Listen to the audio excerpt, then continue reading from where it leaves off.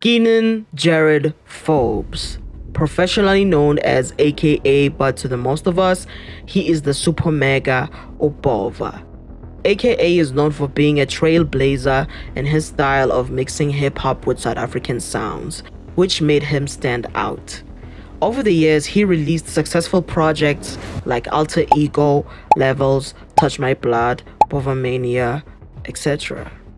He wasn't just doing music, he was into fashion, had a collaboration with a famous vodka brand, and had his own record label.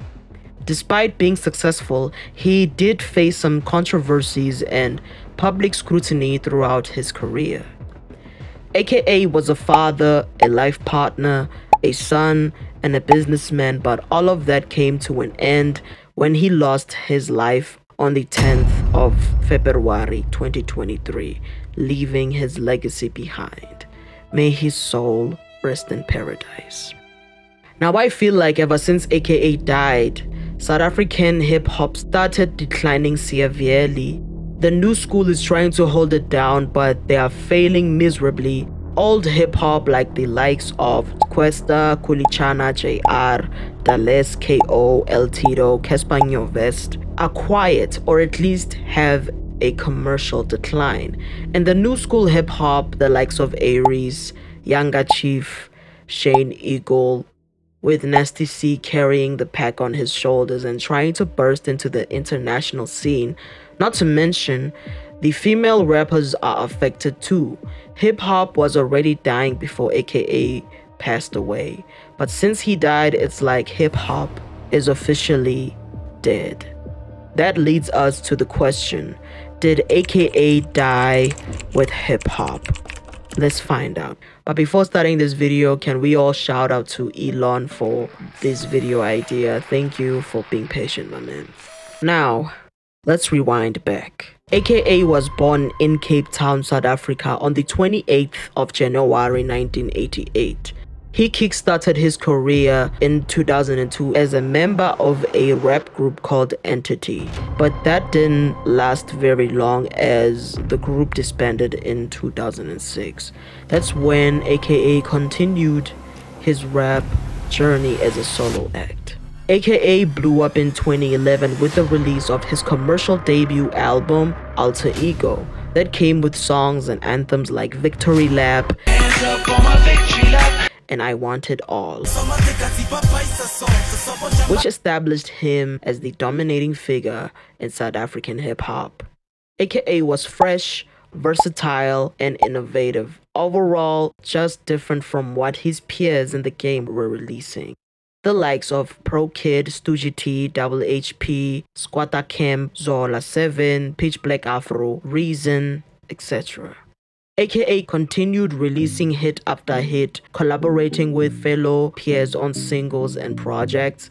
2014, he released his best selling diamond album, Levels. He was on the top of the world, him and other rappers coexisting, but he remained the biggest rapper in South Africa.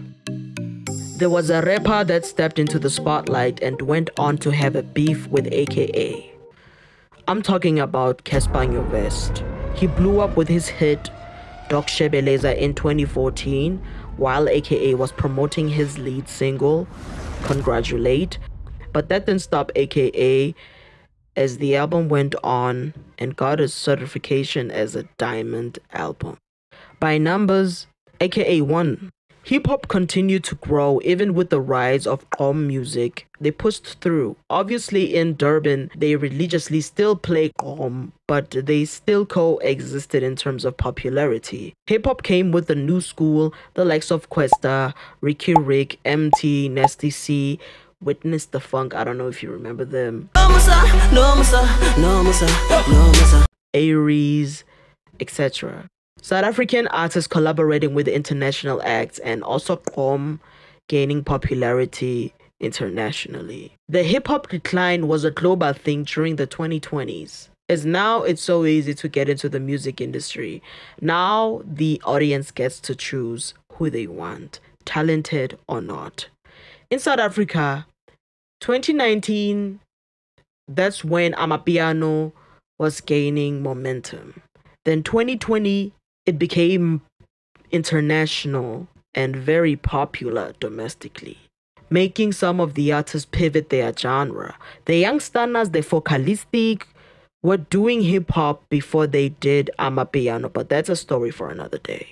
As we know, that AKA likes to blend genres. He did that with Jika featuring Yanga Chief. That's when Nasty C was at his peak with his song SMA promoting his album Strings and Bling. And plenty of songs of his, including Lemons, released in 2022. And it's still popular to this day. Proves that anything that comes AKA's way, he's always gonna fight it. He is always going to innovate his music to sound as fresh as possible. The thing is, since AKA passed away, hip hop is quiet. That leads me to the question Did AKA die with hip hop? I mean, where are AKA's peers, Khuli Chana, Kwesta? My opinion, I don't think AKA died with hip hop.